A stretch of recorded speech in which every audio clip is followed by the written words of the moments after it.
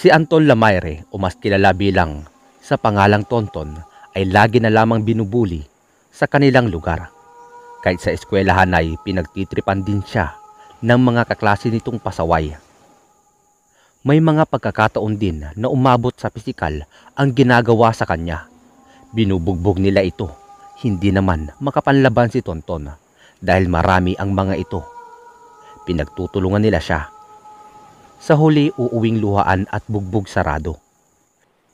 Hindi rin siya maipagtanggol ng kanyang amang sugarol at lasenggo dahil hindi ito umuuwi na hindi lasing. Siya ay ulila na sa ina dahil namatay ito sa panganganak sa kanya. Iyon marahil ang dahilan kung bakit walang amor sa kanya. Ang amang alas 4 pa lang ng umaga ay hindi na niya nakikita sa kanilang maliit na tahanan Masalimuot ang buhay ng 17 anyos na si Tonton. Matangkad ngunit payat ang pangangatawan nitong sunog sa araw ang balat dahil sa pagtatrabaho bilang construction worker sa kung saan saan. Kung hindi man ay kargador ito sa may bayan. Alam ni Anton na kung sakaling labanan niya ang mga kaklasing anak mayaman na nambubuli sa kanya, ay tiyak sa huli siya rin ang talo. Makapangyarihan ang mga ito at isang salita lang nito sa may-ari ng eskwelahan siguradong mawawalan siya ng scholarship na pinaghirapan niya ng husto. Iniisip niyang edukasyon lamang ang mahalaga sa kanya dahil hindi ito makukuha ng kahit sino mang umalipusta sa pagkatao niya. Itay, kumain na po muna kayo bago umalis. Mahinang wika ni Tonton sa gilid. Alas tres pa lang ay gising na siya para maabutan ang pag-alis ng kanyang amang lasing na naman kagabi. Ha, hindi ko kailangan ng pagkain, Anton. Pera ang kailangan ko. Bulyaw ng kanyang ama at pinatid ang ulam at kanin na nasa mesa. Nahulog yun sa sahig kasama ang pinggan na kabibili lang niya noong isang araw. Naitikom ni Tonton ang kanyang bibig pero sa huli, naglakas loob itong muling magsalita. Hayaan mo po itay. Kapag, kapag nakapagtapos ako, makakahanap ako ng magandang trabaho at magiging mayaman na tayo. Ibibigay ko po sa inyo ang lahat ng perang mayroon tayo. Huwag ka nang mangarap ng gising. Tonton, puro kaaral. Wala ka namang makukuha dyan. Gastos lang yan. Kung tulungan mo na lang kaya ako na nakawin yung pampaswerte ni Asyong. Siguradong yayaman agad tayo. Mahabang wika ng kanyang ama. Hindi naman makaimik si Tonton dahil alam niya ang binabalak ng kanyang ama. Si Asyong ay isang mayamang sugarol sa lugar nila at usap-usapan ng pangpaswerte nitong taglay na nakuha raw nito sa daga. Kaya ito laging nananalo sa sugal. Ang totoo nga niya ay iyon daw ang naging dahilan para mas lalo pa itong yumaman. Hindi na malaya ni Tonton ang pag-alis ng kanyang ama dahil sa matinding pag-iisip. Nang umagang yun, kumain na lamang siya ng mag-isa at nagbihis na para makapasok sa eskwelahan. Nasa huling taon na ito ng high school, kaya sa susunod na taon ay magkokolehiyo na ito. Mabilis na tinatahak ni Tonton ang daan patungo sa eskwelahang pinapasukan. Nilalakad niya lang ang halos dalawang kilometrong distansya nun para makatipid sa pera. Siya ay may baon din para hindi na gumastos pa. Inilalaan na lamang niya ang kakarampot na perang kinikita sa pagtatrabaho sa mga gastusin sa bahay. Wala din naman siyang binabayaran sa eskwelahan dahil pamahalaan nila ang nagbabayad. Ang pangako nito, hanggang kolehiyo sila ang magpapaaral kay Anton, kapalit ang serbisyo nito kapag natapos na ito sa pag-aaral. Para kay Anton sapat na yun, ang mahalaga ay magkaroon siya ng permanenteng trabaho. Oy Anton, antayin mo naman ako, ang bilis mo maglakad. Sigaw ng anak ng kapitbahay niyang si Serena del Sol. Isa itong anak ng banyagang lalaki ngunit pinay naman ang ina.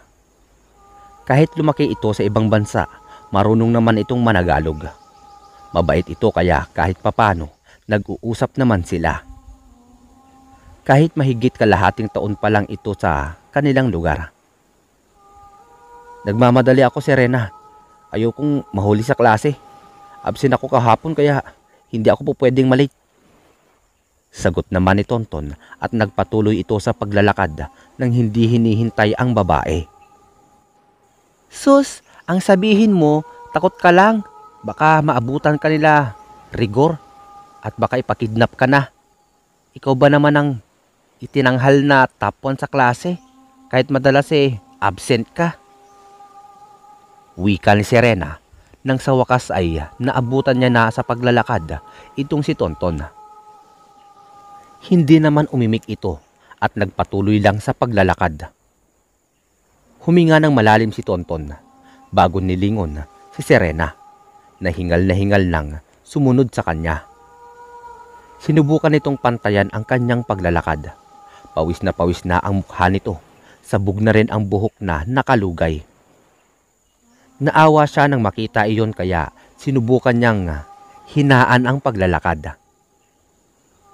Bakit ba kasi naglalakad ka pa? May kotse naman kayo ah. Tanong niya rito nang mapang-abot na sila. Hingal na hingal na tumigil sa paglalakad ang dalaga at pinunasan ang pawis.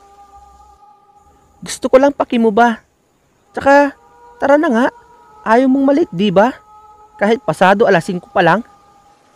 Sagot ni Serena sa kanya. Inagaw niya sa babae ang panyo at siya na lamang ang nagpunas sa noon nito. Maya-maya pa ay hinablot nito sa kanya ang panyo at mabilis na naglakad. Natatawa na lamang nitong sinundan si Serena na ngayon ay nauuna na sa paglalakad sa kanya. Alam ni Anton na maganda itong si Serena pero alam niya rin kung saan siya lulugar. Sakala niya papangarapin yun kung may ibubuga na siya sa ngayon eh, kailangan niyang magsikap. Ilang minuto pa ay nasa bukana na sila ng eskwelahan. Mabilis na naglakad si Anton palayo kay Serena. Ayaw niyang makita ng grupo ni Rigor na magkalapit sila nito. Dahil sinabi pa naman niyang hindi sila close at mukhang suplada ito. Ayaw niyang madamay ito sa galit ni Rigor sa kanya. May katotohanan din naman ang galit nito sa kanya dahil nauungusan siya sa klase. Anak mayaman si Rigor, kaya kahit lagi itong present, bulakbol naman. O teka, akala ko ba eh, hindi kayo magkalapit ng babaeng yan. Agad siyang kinuwelyuhan ng kaklase na si Rigor, hindi pa man siya tuluyang nakapasok sa silid nila. Bigla namang naghiyawan ang kanilang mga kaklase dahil inaasahan na nila na mabubugbog na naman si Tonton. Gaya ng madalas nitong natatamo o hindi kaya ay maku-community service dahil siya palagi ang nasisisi sa gulong hindi naman siya ang nagsimula. Uh, hindi naman talaga, Rigor. Iniiwasan ko nga kahit nagtatanong lang. Mahinang tugon nito sa kaklasing bagsik sa kanilang eskwelahan. Kung tutuusin, kaya niya itong labanan pero mas pinili niyang manahimik na lang at itikom ang bibig. Alam niyang mahirap lang siya at ang hustisya ay para lang yun sa may pera at kayang tabunan ng makapal na salapi ang katotohanan. Hindi siya sinaktan ni Rigor at ng mga kasamahan ng araw na yun. Kaya nakahinga ng maluwag itong si Tonton at inisip na lamang na mas lalo pang layuan si Serena dahil nililigawan ito ni Rigor. Iyon ay kanya namang naiintindihan dahil pareho silang mayaman at hindi malabong sila ang magkatuluyan sa huli. Pagkatapos ng huling klase ay muling binaybay ni Tonton ang daan pa uwi. Sinikap niyang hindi na sila makapang-abot pa ni Serena. Baka malaman ulit ni Rigor at baka hindi lang bugbog ang mata mo niya rito. Pasado alas 5 na kaya may kadiliman na rin ang daan. Hindi inaasahan ni Tonton na may limang lalaki na nag-aabang sa kanya sa gilid ng daan. Alam na niya kung sino ang mga yon.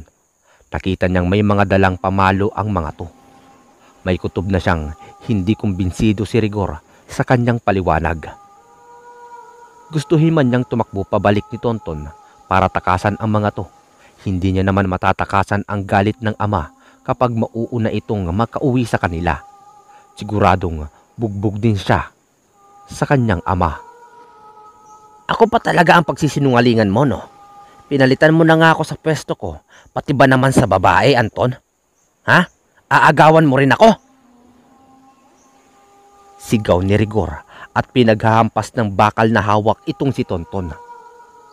Hindi pa ito nakontento. Inutusan pa nito ang mga kasamahan na igapos ang binata sa malaking puno ng akasya. Walang katao-tao ang lugar na yun kaya alam nilang walang makakakita kay Tonton. Aabutin pa siguro ng ilang araw bago nila ito matagpuan. Nagising na lamang si Tonton sa madilim na paligid. Kaunting galaw lang ay kaagad niyang naramdaman ang mga sugat sa kanyang katawan. Napagtanto niya rin ang nakagapos niyang kamay. Wala siyang lakas para kalasin iyon. Sobrang higpit ng pagkakagapos nila sa kanya. Ipinikit na lamang muli ni Tonton ang kanyang mga mata. Ngunit bago pa man niya iyon magawa, naaninag niya ang liwanag na nanggagaling kung saan.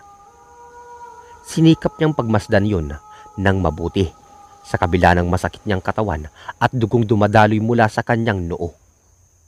Sigurado siyang dahil iyon sa pambubugbog sa kanya nila ni Rigora. May namuong galit sa pagkatao ni Tonton. Bakit kaya tila malupit ang buhay sa kanya? Tonton, sino ang may gawa nito sa'yo? Isang tinig ng matandang babae ang narinig ni Tonton sa kanyang harapan. Hindi niya maaninag ng husto ang itsura nito dahil tangi lang para lang ang umiilaw na dala ng matanda. Nakita niya rin ang hawla na dala nito. May lamang mga daga. Ipinagtataka niya kung bakit kilala siya nito. Ah, mga pasaway po sa eskwelahan. Salamat at nakita niyo ko rito. Sabi ni Tonton. Kinalagan ng matanda si Tonton. Matinding pasasalamat ang ginawad niya rito dahil aniya sinagip nito ang kanyang buhay. Nalaman ni Tonton na siya ay dinala sa gitna ng kagubatan na mangilan-ngilan lang ang sumubok na puntahan yon. Hindi man kilala ng binata ang matanda, alam niyang hulog ng langit ito sa kanya. Ay, nako. Sa iyo na lang itong mutya ng daga ko, Tonton. Alam kong malaki ang maitutulong nito sa'yo at ng tatay mo. Basta, wag mo na lamang aabusuhin ang swerteng taglay niyan, ha? Ang bawat bagay ay may kapalit. At alam kong matalino kang bata. Umaasa akong pakatandaan mo ang bilin kong ito. Wika ng matanda bago nito tinalikuran si Tonton na nakatingin lang sa puting umiilaw na nasa kanyang palad. Naalala niya ang sinabi ng ama tungkol sa mutya ng daga. Nataglay ng isa sa kalaban niya sa sugal. Pero hindi pwedeng ibibigay niya ito sa kanyang ama sapagkat alam niyang gagamitin lang nito ang mutya sa kasamaan. Napaisip ng matagal ang binata at sa huli ay ipinasok niya na ito sa kanyang bulsa ang binigay ng matandang mutya. Ni hindi na siya nakapagpasalamat pa dahil mabilis na itong nawala sa kanyang paningin. Paika-ikang umuwi si Tonton ng gabing yon. Mabuti na lamang at kahit halos hating gabi na, hindi pa rin nakauwi ang kanyang ama. Laking pasasalamat naman niya at mukhang umayon sa kanya ang panahon. Kinabukasan hindi pumasok si Tonton dahil halos hindi siya makagalaw sa pamamaga ng kanyang mga sugat at tama ng bakal na pinaghahampas sa kanya. Minabuti na lamang niyang pagmasdan ang kulay ng puting maliit na parang bato na muling pagmasdan.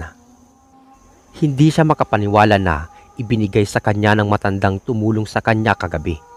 Ang bagay na yun. Ang sabi pa nito, mutya raw yun ng daga.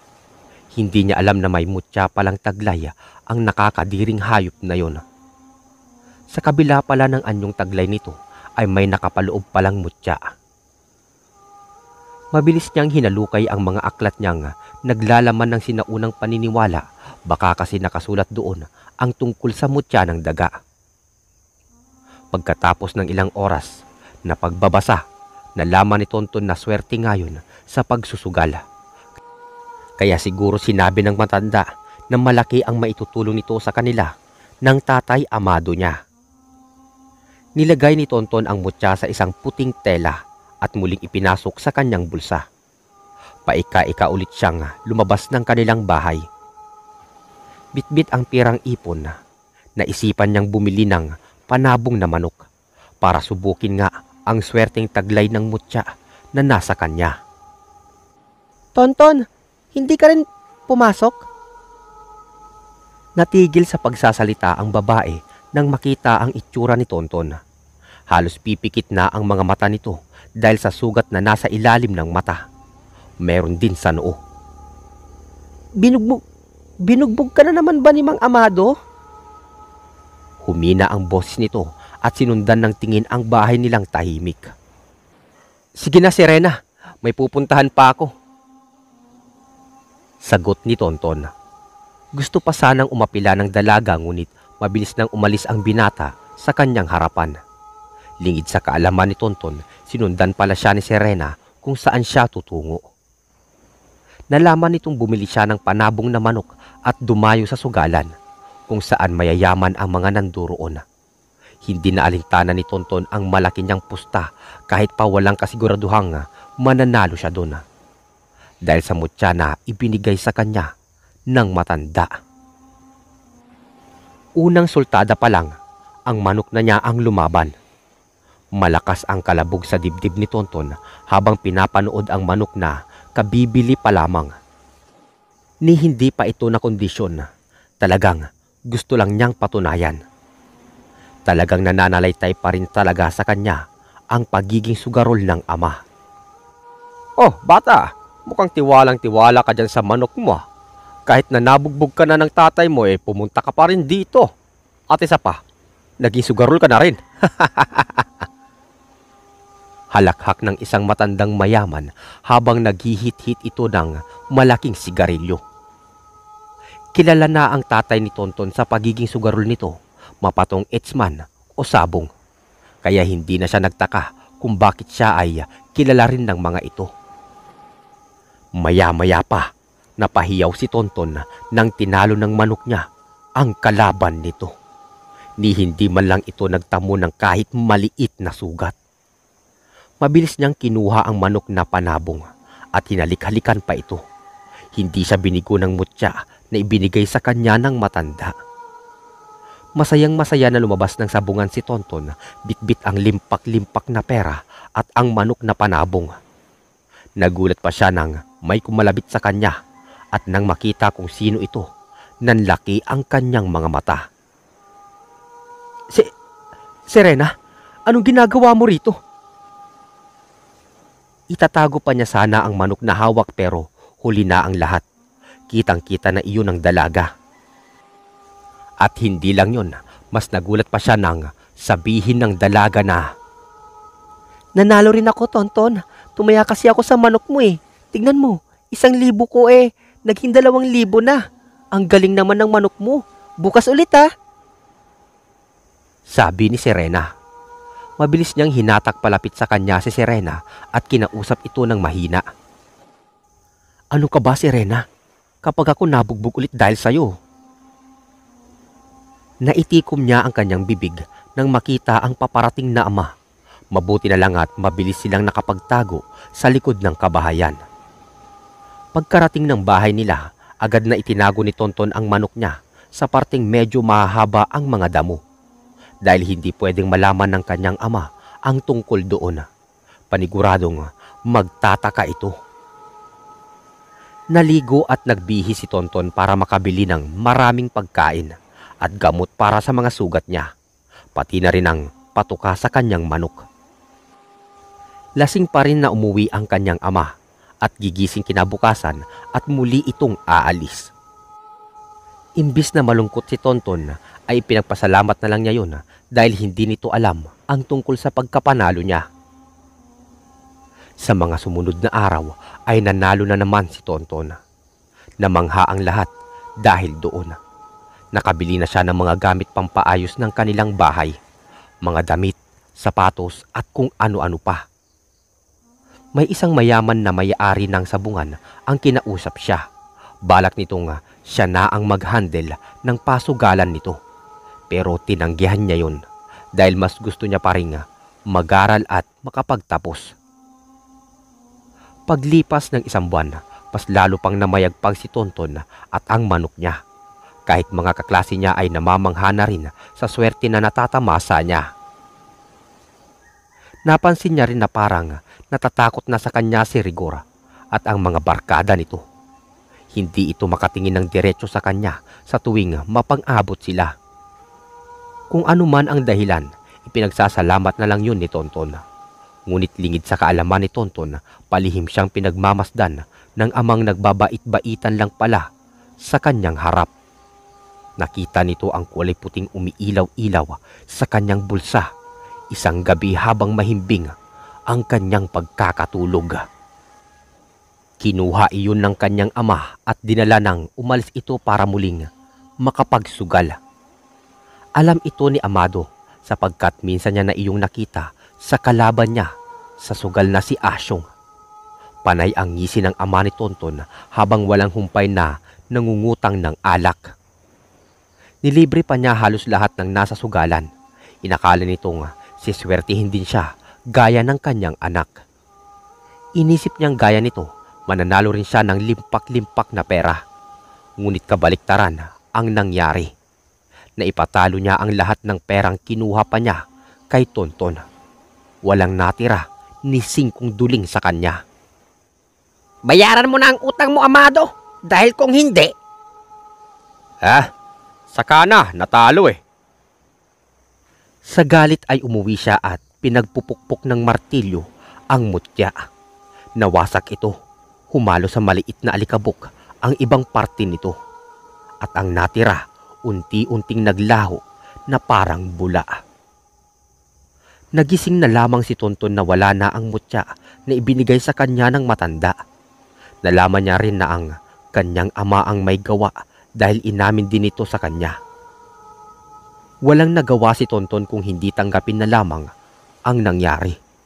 Inisip niyang kahit papano may naitabi pa naman siyang pera maliban sa kinuha ng kanyang ama. Talagang hindi siguro para sa kanya ang mutya na yun. Ngunit isang gabi, napanaginipan niya ang mutya. Hawak-hawak na ito ng matandang tumulong sa kanya.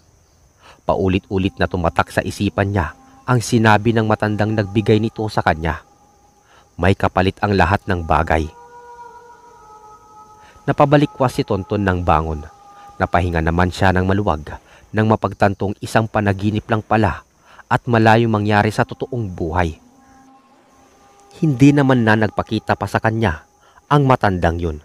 Simula nang ibinigay nito sa kanya ang mutya ng daga.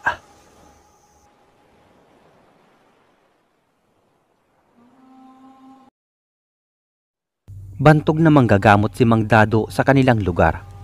Takbuhan siya ng lahat kahit nasa kabilang dako pa ang bahay niya. Hindi alintana ng mga ito ang layo ng lalakarin nila makapagpagamot lang sa matanda. Kung tutuusin, maaari silang mapahamak sa daan pa lang pero hindi yun naging hadlang.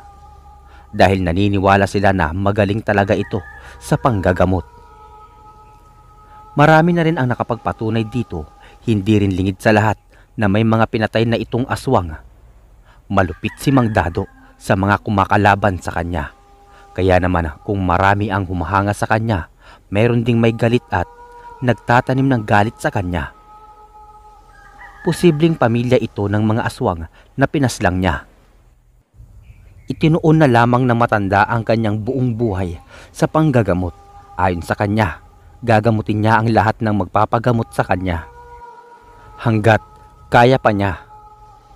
Libre at walang kapalit ang kanyang serbisyo.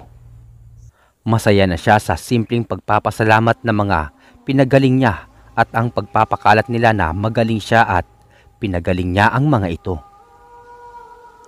Ngunit may mangilan-ngilan pa rin na ang kusang nagbibigay ng pagkain at damit sa kanya. Hindi naman niya tinatanggihan ang mga ito sapagkat sila na mismo ang naglalagay ng kanilang mga dala sa papag ng matanda. Kaya hindi ito nagpapabayad dahil ang mga langis at ugat ng mga punong kahoy na siyang isa sa mga sangkap niya ay nakukuha lamang iyon sa kagubatan.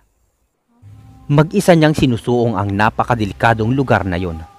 Walang takot siyang nangunguha ng mga dahon, balat ng kahoy at ugat nito.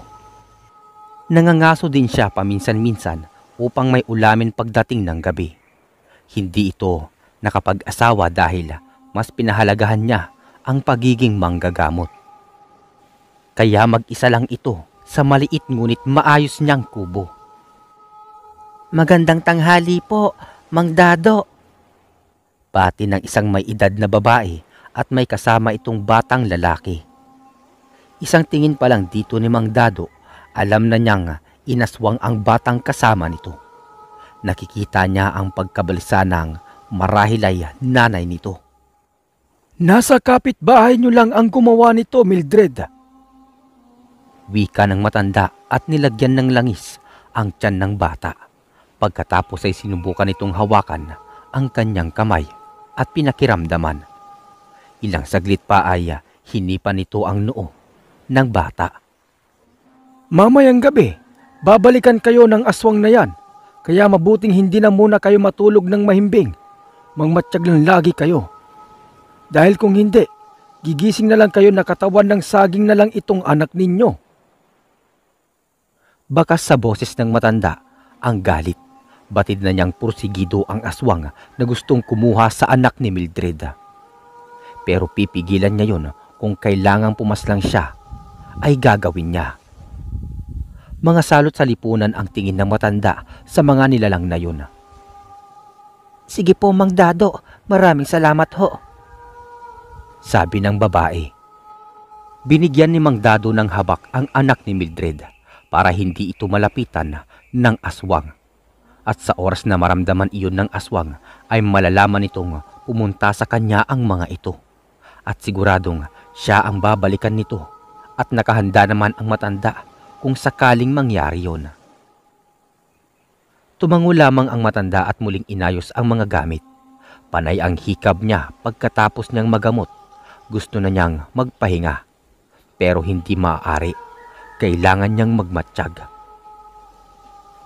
Mararamdaman niya kung sakaling umaaligid ang aswang malapit sa bahay nila Mildred dahil sa ibinigay niyang habak sa anak nito. Kung tama ang hinala niya, kapamilya ito ni Andoy na kalaban niya noon ngunit nagapi niya ito sa labanan. Kaya maaaring gumaganti ang mga ito sa mga inosente. Dahil alam nilang mangengialam talaga si Mang Dado. Sa kabilang dako, nag-aangil sa galit ang magkapatid na dadang at mulo. Matagal-tagal na rin nilang tinitsempuhan ang bata. Nang nagkaroon sila ng pagkakataon, saka naman na nangialam ang matanda. Pakiramdam nila ginagalit talaga sila nito. Huwag kang mag-alala kuya, dahil sa susunod na makaharap ulit natin ang matandang yan, sisiguraduhin ko nga susunod siya kay ama sa kabilang buhay. Wika ng dalagang si Dadang habang iniinda nito ang nananakit niyang tiyan. Ganoon din ang kapatid nito na umatras na sa pag-aaligid sa bahay nila ni Mildred at ng asawa nito. Mabilis nilang tinalon ang bawat bubong ng kabahayan paalis doon. Hindi pwedeng ganito na lang lagi, Dadang. Pinatay na nga ng matandang yun si Ama, pati ba naman ito pakikialaman niya? Sabi pa ni Mulo. Samantala nakahinga ng maluwag si Mang Dado dahil naramdaman niyang na wala na ang umaaligid sa bahay ng mag-asawa. Nang gabing yun, nakatulog siya ng mahimbing. Sa mga sumunod na araw, panibagong mga tao na naman ang humihingi ng tulong sa kanya. Ang iba nagmula pa sa malalayong baryo. Hindi naman ito mahindian ng matanda dahil alam niyang kailangan siya ng mga ito. Kung tama ang hula ko, limang sako ng mais na naman ang nadali nitong magnanakaw kagabi. Ibinibenta niya ang mga ito sa kalapit na tindahan sa inyo. Sabi ni Mang Dado. Mangha ang mag-asawang Alicia at Chris sa kanilang narinig. dahil nahulaan ng matanda ang limang sako ng mais na nawawala sa kanila. Ang hindi lang nila inaasahan ay ang sumunod na sinabi ni Mang Dado at sinabi niya nga nga, At ang masakit lang, mismong anak nyo pa ang gumagawa nito. Hindi sa sinisiraan ko ang mga kaibigan nitong si Allen ha. Pero talagang masasama ang mga ito. Mag-iingat kayo sa dalawa. Malungkot naman na tumango ang mag-asawa, kaya siguro laging may pera ang anak nilang si Allen. Hindi na nga ito tumutulong sa pag-ani ng mais, ninanakawan pa sila nito. Nakaalis na ang mag-asawa, tahimik lamang na nakatayo sa gilid ng pintuan si Mang Dado. Pinagmamasdan niya ang malayong kabahayan kung saan nakatira ang dalawang anak ni Mang Andoy. May agam-agam siya noon dahil naawa siya sa mga anak nito kung sakaling masawi ito. Kaya lang, malupit si Andoy. Marami siyang inosenteng pinapapas lang noon kaya napilitan si Mang Dado na kitilan ito ng buhay. Habang ginagamot ang isang sanggol noon na nangingitim na, dahil minuto na lang ang natitira ay makukuha na ito ni Andoy. Mabuti na lang at agad nila itong nadala sa kanya. Tandang-tanda pa ng matanda kung paano niya ginamot ang sanggol na yon, dalawang daliri mula sa puson, pakyat habang nag-uusal siya ng orasyon. Pagkatapos ng ilang minuto, sinabi niya sa mag-asawa na wala na silang dapat ipangamba dahil natalo na niya ang aswang na gustong kumuha sa anak nila. Kahit malakas rin ito at makailang ulit rin na muntikan din siyang matalo dito. Umaasa ang matanda na sana ay hindi na yun maulit pa. Matanda na siya at ilang taon na lang siguradong bibigay na rin ang katawan niya. Ngunit lingid sa kanyang kaalaman na lumaki na pala ang may matinding galit sa kanya. Yun ay walang iba kundi ang mga anak ni Andoy. At umahanap lang ito ng tiyempo para makaganti sa kanya. Araw ng Sabado, isa sa mga araw na hindi nang gagamot si Mang Dado. Nasa bakuran lamang siya at nagtatanim ng mga halamang gamot. Magandang umaga po, Mang Dado. Si Mildred po ito. Maligayang bati nito sa kanya. May dala itong isang supot na may lamang mga damit. Napalingon ang matanda mula sa pagbubungkal ng lupa. Pinagpagan niya ang sarili bago ito lumapit kay Mildred na malapad ang ngiti sa kanya. Magandang araw din sa iyo, Mildred. Hindi mo kasama si Jinggoy? Wika niya sa babae at sinubukan itong alukin ng upuan. Ah, hindi na po kasi. Hindi na po kasi ako magtatagal. Naparito lang ako upang ibigay po sa inyo itong mga damit bilang pasasalamat dahil gumaling na po si Jason, ang anak ko.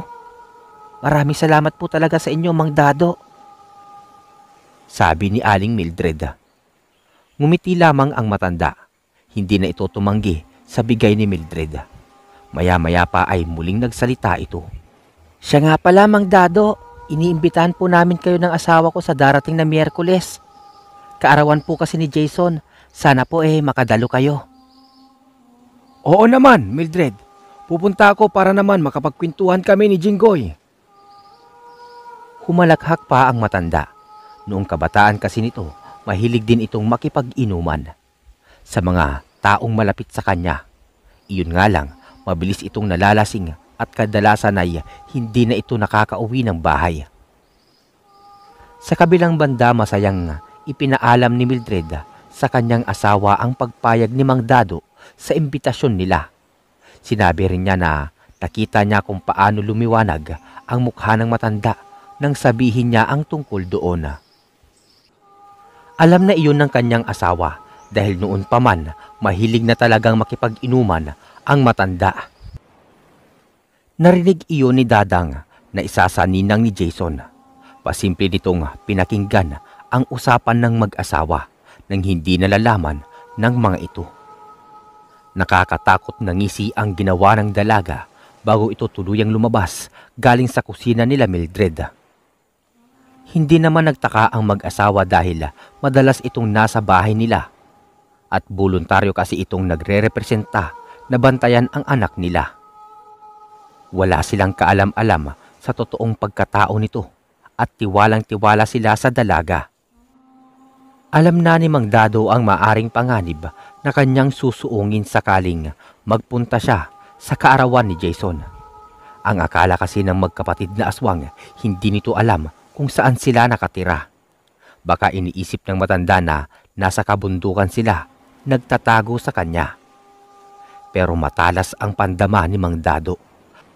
Alam niyang namumuhay na parang mga tao ang mga anak ni Andoy para siya ay linlangin. Napatunayan niya yon nang pumunta sa kanya si Mildred at ang anak nito na kinabitan niya ng habak na dinasalan niya. Nalaman niyang hindi ito gaya ng kanyang inaasahan. Masasamang aswang rin ang mga anak nito at kung sakaling magkrus ang landas nila, siguradong aatakihin siya ng mga ito. Kahit na malakas ang proteksyon na taglay ng matanda, lalo pa at minana niya pa ito sa kanyang ama na siyang orihinal na nagmamay-ari ng proteksyon na nasa kanya, may takot pa rin ito dahil alam niya rin ang iniwan ni Andoya sa mga anak nito. Lahing gabunan na aswang ito at siguradong ganoon din ang mga anak. Na ang mga ito'y inuuhaw sa laman, talagang mambibiktima ang mga ito. Hindi pwedeng uuwi sila na walang nadali. Martes ng gabi nararamdaman ng matanda ang mahinang pagaspas ng ibon. Ayon sa kanyang paniniwala, meron itong pinapahiwatig na wag na siyang tumuloy sa pagdayo sa baryong tinitirhan ng mag-asawang Mildred at Jinggoy. Nagpaparamdam ang malaking ibon sa kanya tuwing may paparating na panganib. Ngunit hindi niya yun pinansin. Dahil may isang salita siya at ayaw niyang biguin ang mag-asawa, lalo na ang anak nila. Nakatulog naman ng mahimbing si Mang Amado at masiglang nagising kinabukasan. Nag-ayos pa siya ng mga gamit sa panggagamot. Lumuhod din siya sa kanyang altar at taimtim na nagdarasal. Pasado alas 4 na nang nagpas siyang umalis si Mang Dado sa kanyang bahay para pumunta sa baryo. Hindi niya nakaligta ang ikabit ang habak sa kanyang baywang. Nasa ilalim iyon ng kanyang damit na bigay pa ng mag-asawa. May dalang maliit na bag ang matanda at naglalaman yon ng ilaw at ang munting regalo niya para kay Jason. Kwintas yun na gawa sa buto na kinuha niya pa sa bunga ng buri. Kulay pula ang mga yun at mano-mano niyang ginawa para sa bata. Dinasalan niya iyon ng buhay na orasyon bilang proteksyon sa mga masasamang nilalang.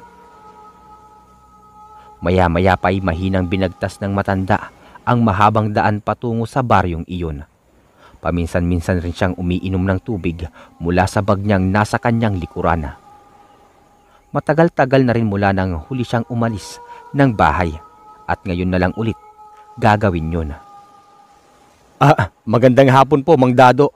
Masaya kami nakarating ka. Bati ka agad ni Jinggoy na siyang nag-aabang sa matanda. Napansin ng matanda ang paglabas ng mga tao sa kani-kanilang bahay nang makita siya. Nakikita niya ang ngiti sa mga ito. Ang iba ay binati siya at ang iba naman ay nagbubulungan. Marahil naaalala nila ang nangyari noon dahil nakita nila siya. May iba kasi noon na galit sa kanya sa ginawa niya. Hindi naman iyon kine-question pa ng matanda dahil hindi naman niya mapilit ang mga taong ayaw maniwala sa kanya. Mas gusto ng mga ito na paniwalaan ang kasinungalingan. Ay talagang makakarating ako, Jinggoy. Minsan na lang akong maimbitan sa mga ganito. Tatanggi pa ba ako? Halakhak ng matanda. Iginiya naman siya ni Jinggoy papasok sa kanilang bahay kung saan naglalapag na ng mga pagkain sa mesa si Mildred. Ngumiti naman sa matanda si Jason para bang alam nito na ligtas siya mula rito. Kumain na po muna kayo, Mang Dado. May tubig na rin akong nilagay dyan. Wika ni Mildred. Umupo na ang matanda sa silya at magkatabi sila ni Jason na kumakain na. Tahimik itong pinagmamasdan ng matanda at agad nitong napansin ang nawawalang habak ng bata. Sinubukan pa nitong lingunin sa parting likuran ng bata pero hindi ito natagpuan ng matanda.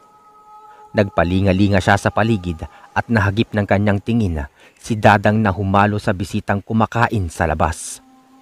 Nasundan ni Mang Dado ang dalaga na mabilis na naglakad palayo. Kumpirmado, kinuha ng dalaga ang habak ni Jason para makalapit siya rito. Nawala sa isipan ni Mang Dado ang tungkol doon. Nang pagkatapos niyang kumain, nagsimula na silang mag-inuman ni Jinggoy. Marami ang nakapansin na bahagya ng nalalasing ang matanda dahil panay na ito sa tawa kasama si Jinggoy na nagpapagewang-gewang na rin habang nakaupo. Pasimpleng niligpit ni Mildred ang mga bote ng lambanog na nasa mesa ng dalawa. Hindi naman ito napansin pa nila dahil halos pipikit na ang kanilang mga mata. Maya-maya pa ay inilalaya ni Mildred ang kanyang asawa papasok sa kanilang kwarto para makapagpahinga na ito. Sumunod naman ay sinubukan niyang kausapin si Mang Dado. Mang Dado, gabi na po. O pwede naman pong dito na lang muna kayo matulog. Bakante naman ang isang kwarto. Bukas na lang po kayo umuwi sa inyo. Sabi ni Mildred sa matanda. Ah, naku Mildred, wag na. Uuwi ako ngayong gabi. Siya nga pala, salamat sa masasarap na pagkain. Pakisabi na lang kay Jinggoy na uuwi na ako. Wika ng matanda at maayos naman ang pananalita nito kung kaya't naging kampante naman si Mildred. Kaya hinayaan niya itong umuwi kahit pa bahagyaring gumigewang-gewang ang paglalakad ng matanda palabas ng kanilang bahay. Hindi niya rin mautusan ang asawa na ihatid ito dahil paniguradong tulog na ito sa mga oras na yon. Samantala, pilit na binabaybay ni Mang Dado ang daan pa uwi. Ilang pagkakataon na rin na kamuntika na siyang madapa at gumulong pa ibaba. Mabuti na lamang at may sungkod siya. Nang nasa masukal na parte na siya ng daan, hindi na niya nabalanse ang kanyang katawan at napahiga na lamang siya. Naipikit ng matanda ang kanyang mga mata sa sobrang pagod at kalasingan. Sa madaling salita, nakatulog ito at nagising na lamang nang maramdaman ang malakas na hangin na dumampi sa kanyang muka. Hindi alam ng matanda kung paano siya nakalutang sa hangin at parang may kung anong nakahawak sa kanyang mga kamay. Nang siya ay tumingala upang tignan kung sino man ay nagulat siya bigla. Dinagit siya ng dalawang itim na nilalang kahit madilim ang buong paligid nakita pa rin niya ang namumulang mga mata ng mga ito. Malalaking ibon ang dumagit sa kanya. Tuluyan nang nawala ang pagkalasing ng matanda sa mga nasaksihan. Ikinagulat rin niya nang hindi niya maramdaman ang habak. Alam niyang wala siyang laban sa mga ito kung wala yun. Sinubukan niyang kumawala at agad itong napansin ng mga nilalang na dumagit sa kanya. Sinubukang mag-usal ng orasyon ng matanda. Palakas ng palakas yun na halos na mamaos na siya kakabigkas sa bawat salita. Hanggang sa namalayan na lamang ng matanda na isinabit siya ng mga ito sa malaking puno kung saan mabato ang ilalim nito. Hindi inaasahan ng mga aswang na dumagit sa kanya na sa gubat siya magagawi at kaya niyang umakyat baba sa puno. Matiwasay naman siyang nakababa sa punong yun at sinubukang hanapin ang mga nilalang na wala na sa kanyang paningin. Hindi man niya nahanap ang mga ito pero sigurado siyang nagkanda sugat-sugat ang mga balat nila sa mga inusal niyang orasyon kanina. At sa oras na makita iyon ng mga ordinaryong tao, malalaman ng mga ito ang pagkatao ng mga aswang na nagbabalat kayo. Samantala nagulat naman sila Mildred at Jinggoy nang hindi na matagpuan sa kanilang baryo ang magkapatid. Pagkatapos ng gabing napabalita sa kanilang lugar ang nangyari kay Mang Dado.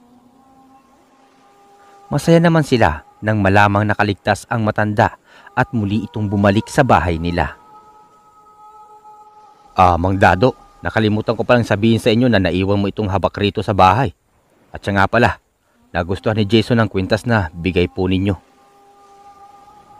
Ngumiti ang matanda at agad na kinuha ang kanyang habak. Kumaway naman sa kanya si Jason. Nakita niya ang kwintas na suot nito. Matapos niyong masulyapan, napawika na lang siya sa kanyang sarili na nga. Balang araw, ikaw ang magmamana sa pagiging manggagamot ko. Nagkaroon ng manliligaw si Ana sa kabila ng halos sunog niyang muka. Nasunog kasi ang tinitirhan nilang bahay noon at muntik na siyang mamatay dahil doon.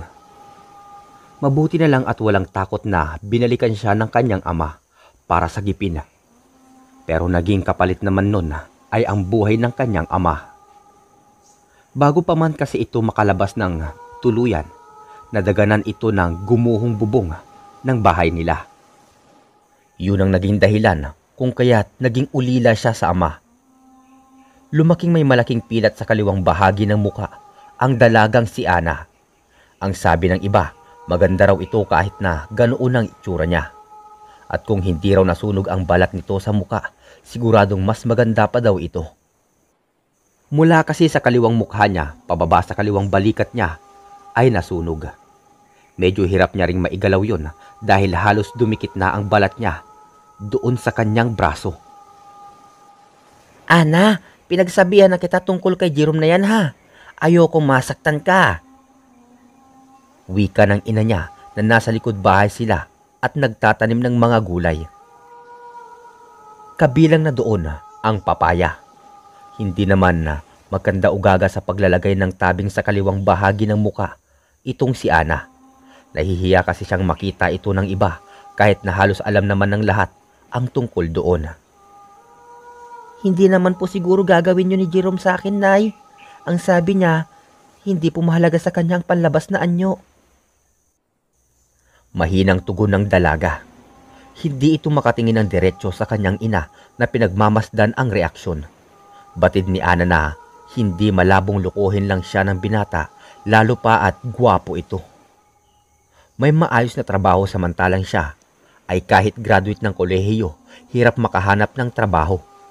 Kaya nasa bahay na lang ito at tinutulungan ang ina na magbenta ng mga gulay na sila rin mismo ang nagtanim. Basta anak, nandito lang ang nanay mo. Hindi kita iiwan.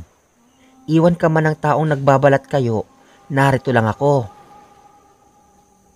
Makahulugang wika ng kanyang ina at pagkatapos ay tumayo na ito.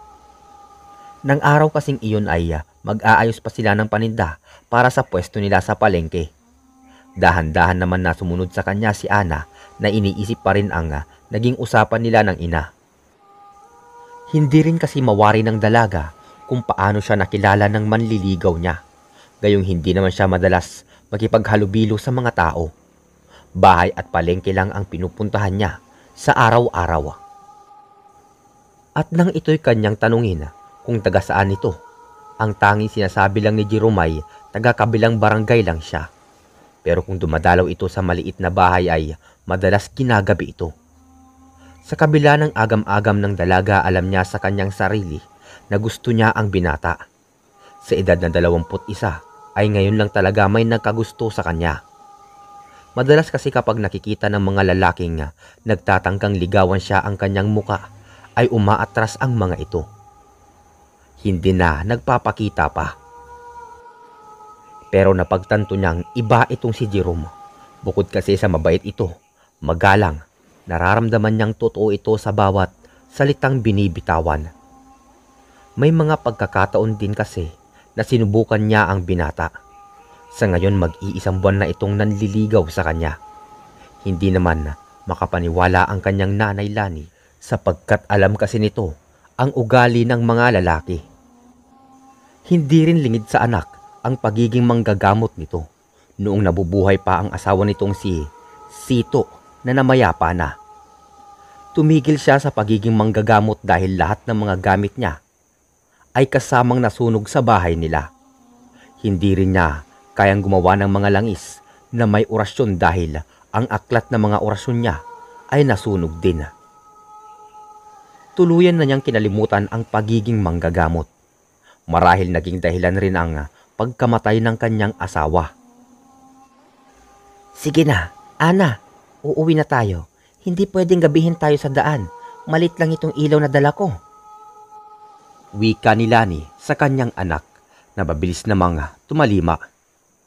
Isinara nito ang maliit nilang pwesto. Sa kabinitbit ang isang kilong bigas at ulam. Mabilis na tinahak ng mag-ina ang daan pa uwi sa maliit nilang bahay.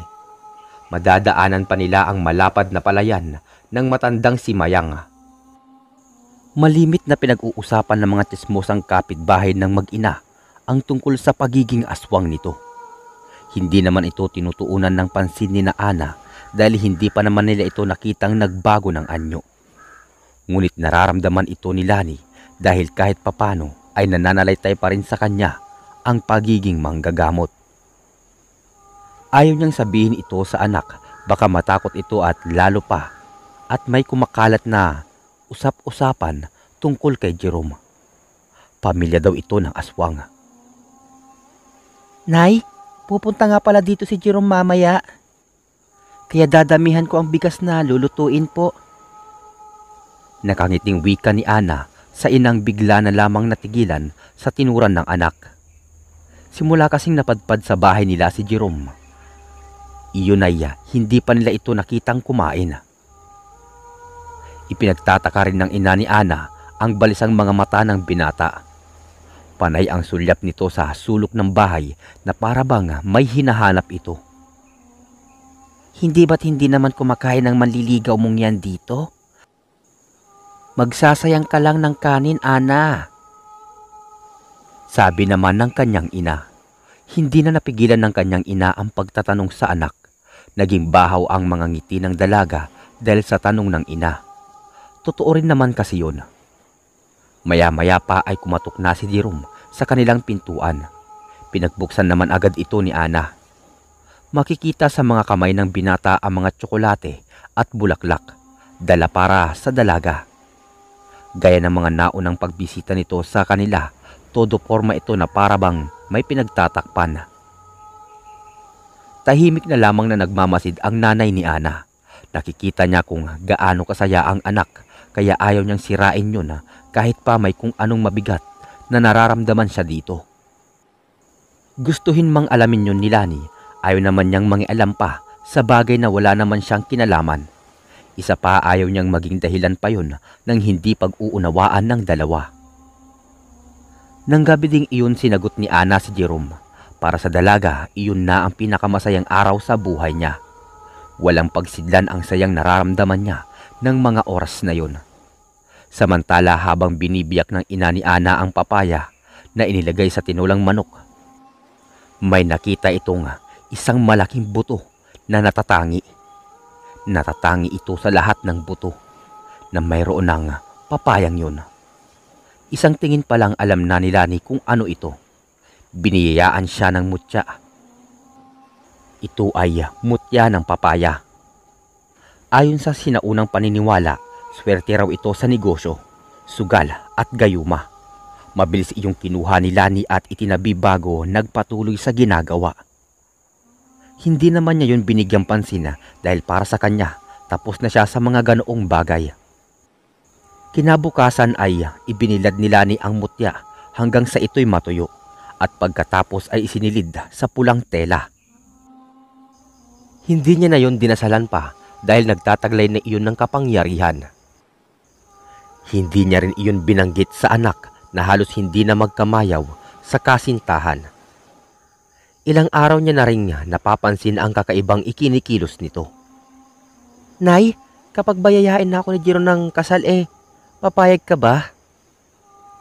Tanong ni Ana isang gabi habang naghahaponan sila ng kanyang ina. Napapansin ng kanyang ina ang lubos na kaligayahan ng anak habang binabanggit ang mga katagang yun. Sa kagustuhang ayaw mapawi ang kasiyahan ng anak, tumango siya at nginitian ito. Ngunit isang araw, nagulat na lamang ang ina ni Ana nang marinig siya nitong humahagulgol sa loob ng bahay. Kakagaling lang ni Lani sa palengke mag-isa siyang ah, nagtinda ng araw na yon. Iniwan po ako ni Jerome. Ayaw na po niya sa akin, Nay. Mangyak-ngiyak na wika ni Ana sa ina. Mabilis naman siyang nilapitan nito at niyakap. Alam na ni Lani na mangyayari yun pero hindi niya inaasahang ganun kabilis. Galit ang mga mata niya nga nakatingin sa anak na labis na nasasaktan. Hindi niya mawari kung paano niya ito patatahanin. Bilang ina at asawa, alam niya kung gaano kasakit ang maiwan. Noon niya naalala ang mutya ng papaya na natagpo ang mabisang panggayuma yun. Pero alam niya rin ang maaaring mangyari. Kaya minabuti niyang wag na lamang banggitin sa anak dahil hindi yun tama. Alam mo anak, ganun talaga ang pag-ibig. Hindi ka masasaktan kung hindi ka nagmahal. Sabi niya sa kanyang anak. Ang sakit-sakit, Nay. Akala ko, akala ko totoo na yun. Alam kong inayawan ako ng pamilya niya dahil sa itsura ko. Dahil pangit ako, Nay. Dagdag pa ni Ana. Mas lalo pang naghihisterya si Ana at wala namang nagagawa ang kanyang ina kundi yakapin na lamang ito ng mahigpit. Wala silang kaalam-alam sa totoong rason ni Jerome kung bakit biglaan niyang hiniwalayan si Ana. Hindi rin kasi nito sinabi kung ano talaga ang dahilan. Basta na lamang sinabi nito na ayaw na niya sa dalaga. At dagdag pa niya ay nagbago ang isip niya. Sa mga sumunod na araw mas lalong lumala si Ana. Hindi na ito lumalabas ng bahay. Palagi na lang itong nagkukulong sa kanyang silid. Ayaw na din itong kumain at yun ay pinag-alala naman ng kanyang ina. Isang kalabit na lang at bibigay na niya sa anak ang mutya na may bisa sa panggayuma. Awang-awa na siya rito pero laging sumasagi sa isip niya ang maaaring dahilan ng binata. Ana, anak, kumain na tayo. Sabi niya sa kanyang anak. Si Jerome ang kailangan ko, Nay. Mamamatay ako kapag hindi siya bumalik sa akin. Wika ng dalaga. Hindi pa rin ito lumalabas ng silid, hindi rin siya mapipilit ng kanyang ina. Pumasok si Lani sa kanyang silid at kinuha ang kulay pulang tela na naglalaman ng mutya ng papaya. Labag sa kalooban niya pero kailangan niyang ibigay sa anak yun para gayumahin si Jerome at baka sakaling bumalik ito. Nasa tapat na siya ng pintuan ng anak at handa na sana niyang ibigay rito ang mutya. Ngunit bumukas ang pintuan ng biglaan. Sa gulat niya ay nabitawan niya ang hawak. Nagtatakang tinignan ni Ana ang ina na nagulat sa biglaan niyang paglabas ng silid. Balak kasi sana niya nga silipin lang ito at kahit papano ay ayaw niya ring mag-alala ito sa kanya. Kumain ka na. Ilang araw ka nang hindi sumasabay sa akin. Hindi mo na rin ako sinasamahan sa palengke. Wika ni Lani. Hindi naman makatingin ng maayos ang dalaga sa kanyang ina. Nakokonsensya siya sa ilang araw na pagmumukmuk niya para sa taong nang iwan sa kanya. Dumaan ang ilang araw at naalala ni Lani ang pulang tela na naglalaman ng mutya. Hinanap niya iyon sa kung saan saan at kung saan niya nabitawan at posibleng nahulog. Pero nakailang palingalinga na siya sa parting yun na hindi niya talaga mahanap. Namamawis na rin ang kanyang noo at nangangalay ang leeg kakayuko para mahanap lang yun.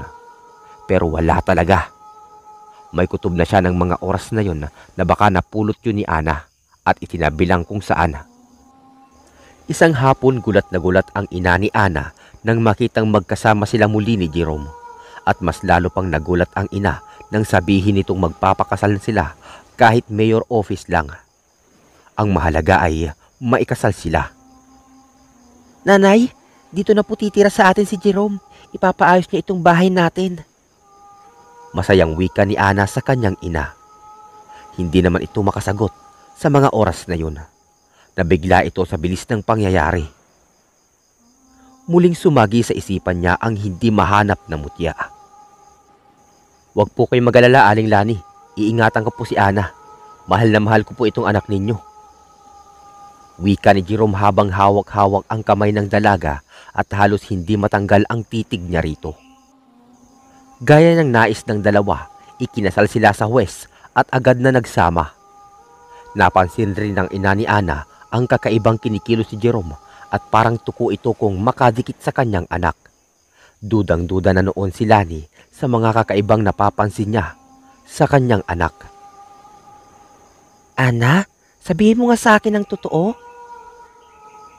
Tanong ni Lani sa kanyang anak. Nagulat si Ana nang bigla na lang siyang hinigit ng ina. Kahit pa alam na niya ang ibig sabihin nun. Nagkunwari siyang walang alam kahit kabado na siya. Gusto lang naman niyang mahalin siya ni Jerome gaya noong una. Inisip niyang hindi naman siguro kalabisan iyon.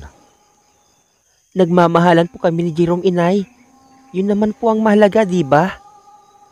Sagot niya sa kanyang ina.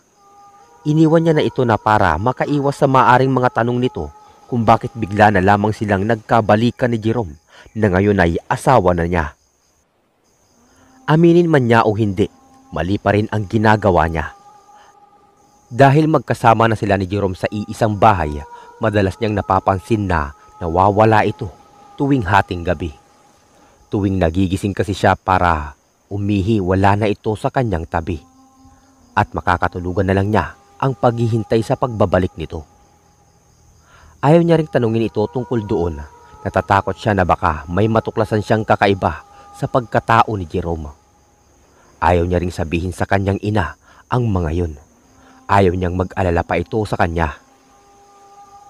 Mahigit isang buwan na sa kanila si Jerome at mas lalo pang dumami ang kakaibang napapansin ng mag-ina rito. Madalas itong nasusuka sa tuwing isda ang ulam at hindi rin ito sumasabay sa hapagkainan tuwing oras ng pagkain. Kinukutuban na ang ina ni Ana sa mga kakaibang napapansin nila pero pilit nitong isinasantabi ang lahat ng iyon. Alang-alang lamang sa kanyang anak. Na alam nitong masasaktan sa kung anumang inililihim ni Jerome sa kanila. Oy, Lani, nag-asawa na pala ang anak mong si Ana. Ni hindi mo man lang kami in-invite, ha? Oo nga, Lani, grabe. Si Jerome ba na apo ni Mayang ang naging asawa niya? Sa huling tanong na yun ay talagang natigilan si Lani. Hindi niya alam na apo pala ni Mayang itong si Jerome at kamamatay lang ng matanda noong nakaraang buwan. Ni hindi man lang yun nabanggit sa kanila ng asawa ng anak niya. Hindi na nakaimik pa si Lani at inantay na lang na umalis ang mga tismosa bago niligpit at isinara ang pwesto. Kailangan niyang kausapin ang asawa ng anak niya. Simula kasi nang nakatira na ito sa kanila, hindi pa niya ito nakakausap ng maayos. Nadatnan ni Lani ang mag-asawa na masayang nag-uusap sa labas. Kitang-kita niya ang ngiti sa anak. Masayang masaya ito. Nay, narito na pala kayo. Sabayan niyo na po kami ni Jerome. Wika ni Ana sa kanyang ina at kumuha ng pinggan at nilagyan niya yun ng kanin at ulam. At nang sulyapan niya ito ay gulat na gulat ito. Hindi niya naman maintindihan kung bakit. Anak, ano yung nilagay mong ulam? Bakit parang hilaw ang mga yan? Tanong niya sa kanyang anak. Ah, yan ba? Yan po kasi ang gusto ni Jerome, Nay. Sariwa, kaya...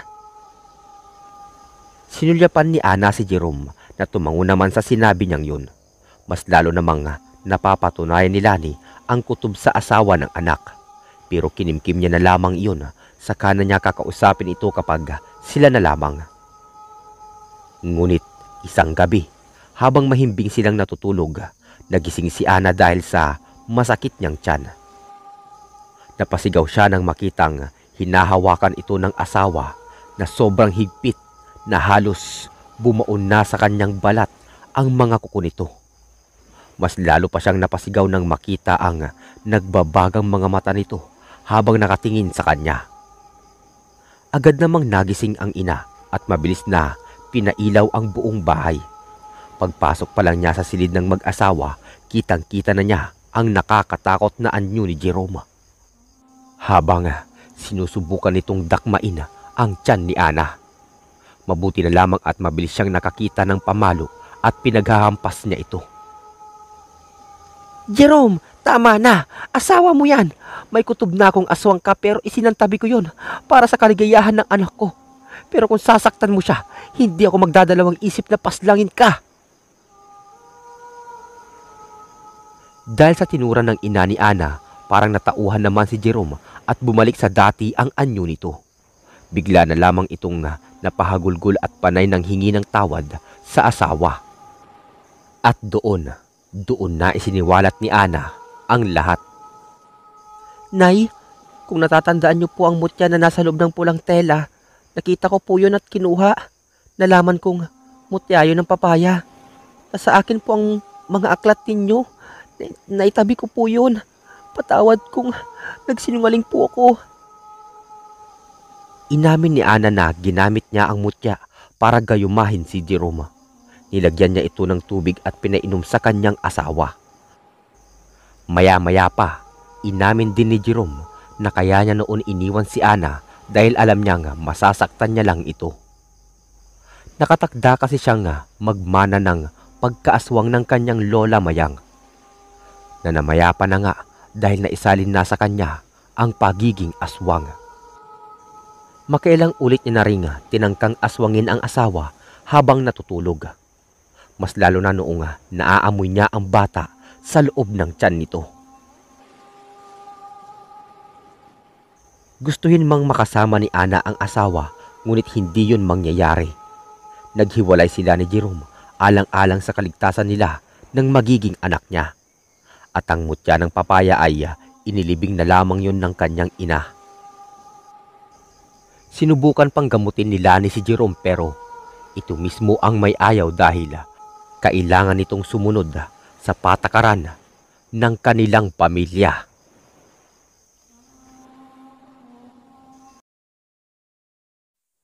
Tawagin niyo na lang akong Tado. Kilala ang grupo namin bilang mga numero unong lasinggero sa Sitio Baluti. Tipong inuumaga na sa inuman at walang ibang laman ng tiyan kundi alak. Walang araw na hindi kami nakikita sa tapat ng tindahan ni Aling Upeng. Halos wala na ngang nagtatangkang pumesto roon sa mesang madalas naming inuukupaan. Bukod kasi sa lasenggo eh, kinakatakutan din ang grupo namin. Lalo na si Igme na siyang pasimuno lagi ng gulo sa aming sityo. Bukod pa roon, ang ilang kaso ng pagnanakaw ng mga kalabaw at ilan pa sa mga alagang hayop. Hapon noon, gagaya ng nakagawian, nagkayayaan na naman kaming mag-inuman. Halos lahat ng kinikita ko sa panggagapas ay nauuwi lang sa pambili ng alak.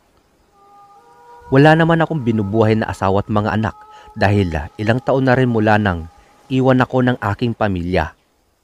Aminado naman akong isa akong malaking siraulo. Ngunit, ng panahong yon, mas naging matimbang ang mga barkada ko kesa sa pamilya. Madalas kong binubugbog ang asawa kong si Lisa at yung dalawang anak ko sa kanya. Kaya hindi ko rin masisisi kung nagawa nila akong iwan ng mag-isa. Siguro eh, iyon na rin talaga ang karma ko sa lahat ng nangyari. Paminsan-minsan, naiisip ko na rin na malungkot pala ang mag-isa kaya dinadaan ko na lang sa inom para makaiwas sa mga isipin. Gustuhin ko mang hanapin sila ay wala pa akong mukhang maihaharap lalo na't ang liit ng aking kinikita ay hindi pa nito kakayaning makabuhay ng pamilya. Bago kami makarating sa tindahan ni Aling Upeng, madadaanan muna namin yung ihawan ni Aling Minda. Barbecue, isaw, Vitamax, at inihaw na ulo ng manok ang binebenta ng matanda. Aling Minda, limang isaw nga. Samahan mo na rin ng limang Betamax at tatlong stick nitong ulo. At siyempre, samahan mo na rin ng konting pagmamahal. Natatawang sabi ni Igme kay Aling Minda. Matalim itong tinignan ng matandang tindera. Bakit? May pambayad ba kayo? Tanong nito sa amin. Napangisi noon si Igme. Ngisi na may halong iritasyon sa tinuran ng matanda. Tinapik ko ito sa balikat upang balaan sa gagawin. Pare, wag na. Sabi ko dito.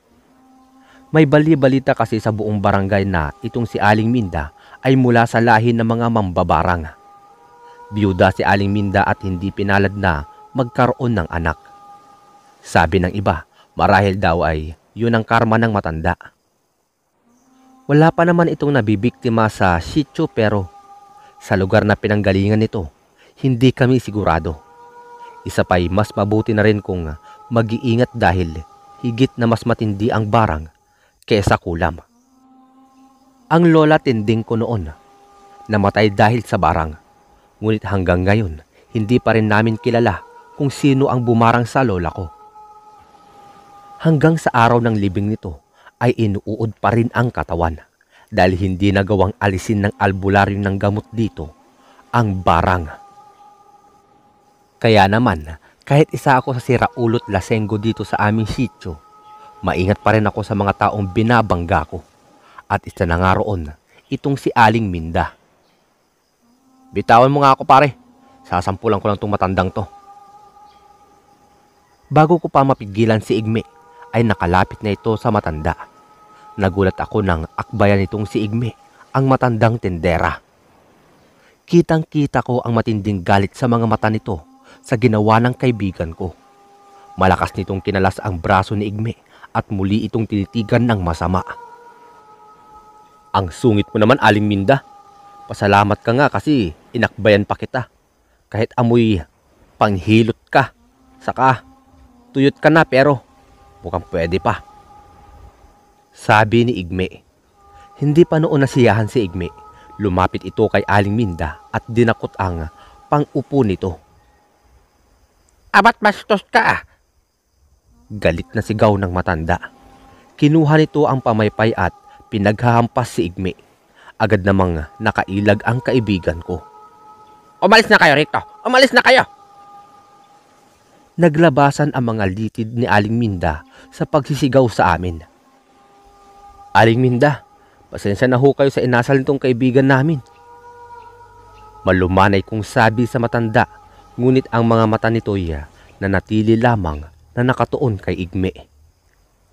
Hoy matandang kolobot, may araw ka rin sa akin, babalikan kita. Tandaan mo yan. Pahabol pa ni Igme kay Aling Minda. Hanggang sa makarating kami sa tambayan, bukang bibig pa rin ni paring Igme si Aling Minda. Pinagsabihan na namin siya pero gusto pa rin balikan ang matanda. Nagplano sila na nakawan ang bahay ng matanda. Sa hindi malamang dahilan ay may kung anong pumigil sa akin na sumama kina Igme sa gagawing pagnanakaw. Wala naman ako maisip na dahilan kaya naman napilitan na lang ako na magsinungaling sa kanila. Pare, baka hindi muna ako makakasama sa lakad niyo bukas. May usapan kasi kami ni Tatang Noli na sasamahan ko siya bukas ng gabi sa, sa, sa kabilang bayan. Sayang naman yung ibibigay niya sa akin. Katwiran ko sa kanila. Ay sus, ang sabihin mo, dinadaga ka lang. Baka naman nagpapaniwala kang mambabarang yung si Aling Minda. Napailing na lang ako sa tinuran ni Igme. Mukhang buo na talaga ang plano nila. Nang gabing yun, matapos ang inuman, nagkayayaan rin kaming umuwi. Nagkahiwalay-hiwalay na rin kami dahil magkakaiba naman kami ng uuwian. Yung daraanan ko pa uwi, madadaanan ko rin ang bahay nitong si Aling Minda na nag-iisa lang sa may tawid sapa. Pagkatapat ko ron, nakita ko si Aling Minda na naglalakad palapit sa balon. Sa pagkakaalam ko, hindi pagkukuhaan ng malinis na tubig ang balong yun dahil sa kapal ng lumot at natambakan na rin ng mga basura. Ngunit itong si Aling Minda ay may bitbit na timba habang papalapit doon. Napakunot ang noo ko nang makitang ibuhos ng matanda ang laman ng dalang timba sa bunganga ng balon. Sa tulong ng sinag ng buwan, nakita ko ang tila kulay pulang likido mula sa timbang hawak ng matanda. Bigla akong nataranta nang lumingon siya sa direksyon ko. Hindi na ako nag-aksaya pa ng oras at dali-daling naglakad palayo. Nang sumapit ang planong pagnanakaw ni Naigme sa bahay ni Aling Minda, sinadya ko magtungo sa bahay ng amo kong si Tatang Noli na isa ring albularyo sa aming lugar.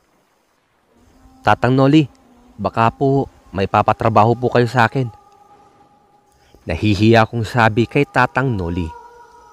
Naabutan ko pa siyang nag-aalmusal sa labas ng bahay nito habang nakatanaw sa may palayan. Nagtatakang tumingin sa akin ang matanda. Aba, himalat ikaw pa mismo ang naghahanap ng trabaho. At saka, ang aga pa. Napakamot ako sa batok. Ako lang ang nakakaalam ng totoong dahilan kung bakit ako naparoon. O siya, manguha ka ng kawayang ibabakod sa pangungulungan ng mga itik. Kung gusto mo eh, ikaw na rin ang magbakod nang may kitain ka pa. Tila nabunutan ako ng tinik sa sinabing iyon ni Tatang Noli. Ah, salamat ho. Sagot ko sa kanya. Sinadya kong tagalan ang pangunguha ng kawayan sa gubat upang palipasin ang oras. Ngunit pagsapit ng hapon ay abot-abot na ang aking kaba nang maisip ang plano nila igme. Oh, hindi ka pa ba uuwi? Tanong ni Tatang Noli sa akin nang maabutan pa rin ako sa labas. Nakatatlong balik na ako sa pangunguha ng kawayan at nasimulan ko na rin ang pagpoposte sa aking babakuran. Gustuin ko mang ituloy ang trabaho ay hindi na rin maaari dahil ilang sandali na lamang ay magdidilim na ang paligid. Kung hindi lang sana magtataka si Tatang Noli ay doon na ako magpapalipas ng gabi. Ngunit tiyak na magtatanong ito kung bakit. Kaya naman napilitan na lang akong umuwi. Kinabukasan, lumipas na ang maghapon. Ngunit ni Anino ni Naigme ay hindi ko nasilayan. Ngunit nang makarating ako sa talipapa, doon ko nabalitaan na ninakawan daw kagabi si Aling Minda. Nakuha lahat ng perang inipon nito. Napuno raw ng pasa ang katawan ng matanda matapos itong ah, pagtulong-tulungan ng dalawang magnanakaw. Matapos mabalitaan ang nangyari, agad akong nagtungo sa bahay ni Igme. Ngunit pagdating ko ron, ang asawa lang nito ang naabutan ko. Ang sabi, hindi pa raw umuuwi si Igme mula pa kagabi. Sunod kong hinanap si Paing. Sasadyain ko sana ang bahay nito nang makasalubong ko ang asawa ni Paing na si Elsa. Umiiyak ito at bakas ang matinding pag-aalala sa itsura. Mare, saan ka pupunta? Si Paeng, nakauwi na ba? Tanong ko sa kanya. Madaling araw na siyang nakauwi, pero kanina paggising ko, inaapoy siya ng lagnat at nanginginig ang buong katawan niya. Sagot ni Maring Elsa sa akin. Tinanong ako ni Elsa kung may kilala akong manggagamot at unang pumasok sa isip ko si Tatang Noli kaya kaagad ko siyang sinamahan doon. Pagdating namin sa bahay ni Napaing, muntik nang bumaliktad ang aking sikmura nang tumambad ang kalunos-lunos na sinapit ni Paing. Lumaki ang tiyan nito at sobrang banat na banat. Halos singnipis na ng papel ang balat. Bakas ang matinding sakit na dinadanas ni Paing sa kanyang mukha habang nanginginig pa ang buong katawan sa taas ng lagnat. Unang isinagawa ni Tatang Noli ang pagtatawas kay Paing. Huh, barang, may bumarang sa kanya. Gulat akong napatingin kay Tatang Noli. Wala akong ibang naisip na maaaring gumawa nito kay Paing kundi si Aling Minda lamang na kanilang binastos at ninakawan. Muntik na ako mapatalon sa gulat nang tapikin ni Tatang Noli ang aking balikat. May alam ka kung sino ang huling nakaalitan ng kaibigan mo? Tanong nito sa akin. Pinagpawisan ako ng malamig at naging mailap ang mga mata. Kung hindi ka magsasalita, mas lalong mapapahamak itong kaibigan mo, Tado. Dagdag pa ng matanda. Tumayo ako at balisang tumingin sa matanda. Si, si Aling Minda ho. Ninakawan nila si Aling Minda. At nung nakaraan lang ho eh, binastos nila sa ihawan. Diyos mio, E matinding mambabarang ang isang yon. Hindi makapaniwalang sambit ni Tatang Noli. Bumalik si Tatang Noli sa bahay nito para kumuha ng mga gamot na gagamitin kay Paing. Tinapalan nito ng mga halamang gamot ang lumubong tiyan ni Paing nang mabawasan ang pananakit nito. Ngunit hindi pa man natatapos ang gabi, muli na naman kaming nagimbal sa nangyari. Habang abala sa pag-oorasyon si Tatang Noli, hindi nakaligtas sa aking paningin ang maliit na lintang na naglalabas-labasan sa mga mata at ilong, maging sa bibig at tenga ni Painga. Bawat dinadaanan ng mga lintay, nag-iiwan ng itim na marka na nagdudulot ng malaking pasa sa mukha ni Paing na halos magmukha ng naaagnas na bangkay sa sinapit. Matindi ang barang na ginawa kay Paeng. Mukhang kinakailangan pa natin ng tulong ng isa pang albularyo upang kontrahin ang barang ni Minda. Dahil kung hindi, uh, maaari niya itong ikamatay. Nang gabing iyon, sinamahan ko si Tatang Noli sa kakilala nitong albularyo na maaaring makatulong sa kalagayan ni Paeng. Pagpasok pa lang namin sa bakuran ng matanda ay alam na nito ang aming sadya. Hindi ko mapigilang mahiwagaan sa matandang iyon na ipinakilala ni Tatang Noli bilang si Ingkong Pepe. Nang lumabas ng kubo ang matanda, unang nakaagaw pansin sa akin ang puting palawit nito na kwintas na maihahalin tulad mo sa isang linta. Nais ko pa sanang magtanong ng tungkol doon ngunit nagmamadali na kaming bumalik sa bahay ni Painga. Dahil may kalayuan nga rin ang nilakad namin pabalik, sa kasamaang palad ay hindi na namin inabutang buhay itong si Painga. Ngunit kahit binawian na ito ng buhay, katakatakang may mga naglalabasan pa rin maliliit na linta mula sa katawan ni Painga. Dahilan upang hindi ito malapitan Ilang minuto pa lang ang nakakalipas mula nang bawian ito ng buhay. Ngunit ang itsura nito'y daig pa ang isang bangkay na ilang araw nang nakaburol. Kailangang matanggal natin ang sumpa ng barang sa katawan niya upang mabigyan siya ng payapang libing. Sabi ni Ingkong Pepe na hawak ang isang maliit na libro. Hinawakan nito ang kwintas at dinala sa mga labi habang umuusal na mga salitang sa palagay ko ay bahagi ng orasyong isinasagawa ng matanda. Tahimik ang paligid habang ginagawa nito ang orasyon. Ipinagbabawal nito ang kahit kaunting ingay na maaring makapigil sa pagtataboy nito ng sumpa mula sa katawan ni Paenga. Makalipas ang ilang sandali, nawala na ang mga lintang gumagapang sa katawan ni Paenga at inutusan na rin kami ni Ingkong Pepe na balutin sa banig ang katawan ng namayapa kong kaibigan. Ngunit nang angatin ko ang kaliwang binti ni Paing, muntik na akong maduwal nang makalas ito at bumagsak sa sahig. Umalingasaw ang nabubulok nitong amoy. Pigil ang hininga na dinampot ko ang nabubulok na binti ni Paing at agad ko rin itong ibinalot sa banig. Hindi na raw dapat patagalin pa ang bangkay ng isang taong namatay sa barang sa loob ng pamamahay. Kaya naman, inasikaso rin agad ni Elsa ang paglilibingan sa namayapa kong kaibigan. Buong akala ko'y doon na matatapos ang bagsik ng pambabarang ni Aling Minda. Ngunit kinabukasan lang, matapos ang libing ni Paeng, nakarating naman sa amin ang balita na malubhana ang sakit ni Igme nakauuwi lang noong isang araw. Inutusan ako ni Tatang Noli na putahan si Ingkong Pepe dahil ito lamang daw ang may kakayahang kontrahin ang barang ni Aling Minda. Ang sinapit ni Igme, parehong pareho sa sinapit ni Paing bago ito binawian ng buhay.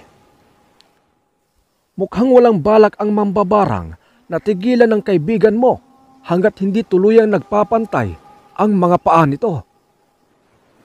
Sinulyapan ko ang nakaratay na katawan ni Igme habang nagsasagawa ng orasyon ang matandang albularyo. Nang ilapat ni Ingkong Pepe ang hintuturinto sa noo ni Igme, umalingaw-ngaw ang nakakakilabot nitong sigaw. Sigaw ng pinaghalong sakit at galit. Iginuhit ni Ingkong Pepe ang hintuturo nito hanggang sa makarating sa lumulubong tiyan ni Igme.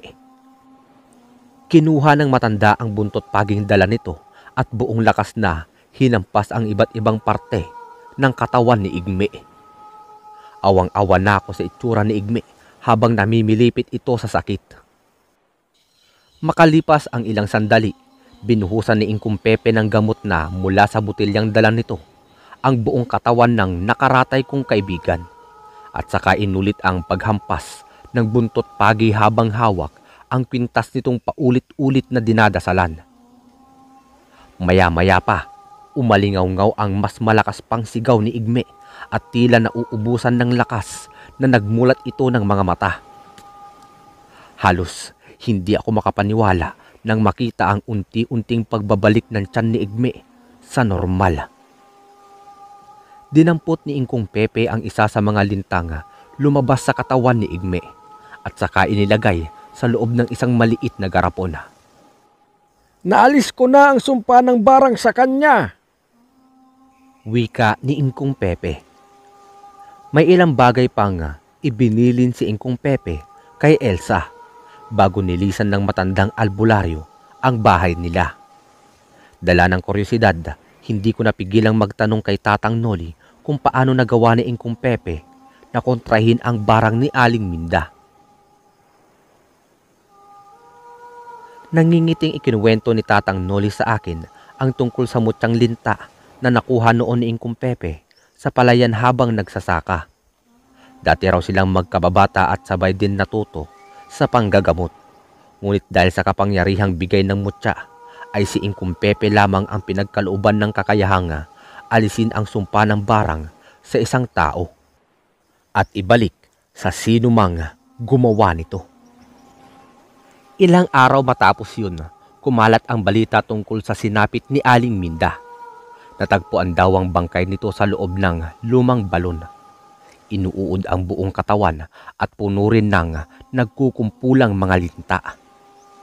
Marami ang nagsasabi na nararapat lamang ang sinapit ni Aling Minda dahil sa ginawa nito sa mga nauna pang biktima.